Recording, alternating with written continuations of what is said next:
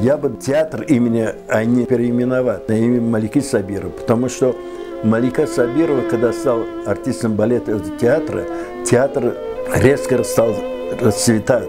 И больше заслужит, что театр стал бы ее именем.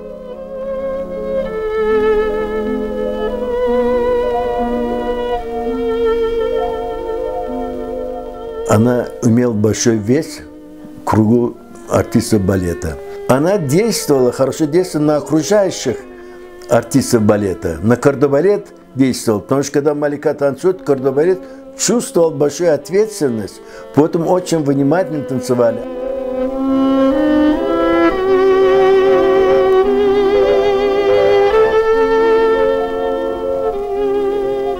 Жизни не приспособлены, у них нет времени ухаживать за собой, или в базар ходить, или в магазин ходить, поэтому кто-то должен всегда за ним ухаживать. Я, как говорил, его мать всегда за ним ухаживал.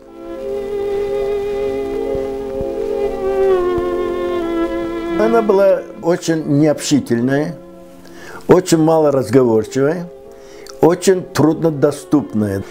По-видимому, ленинградская культура на нее подействовала.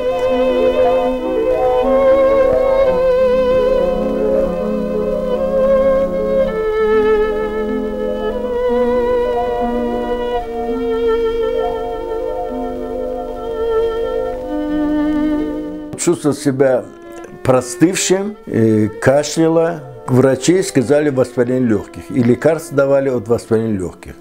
Потом ей ставили диагноз туберкулеза.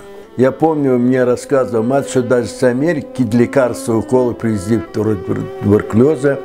А потом выяснилось, что все эти лекарства, наоборот, хуже подействовали на нее. Оказывается, у нее был рак.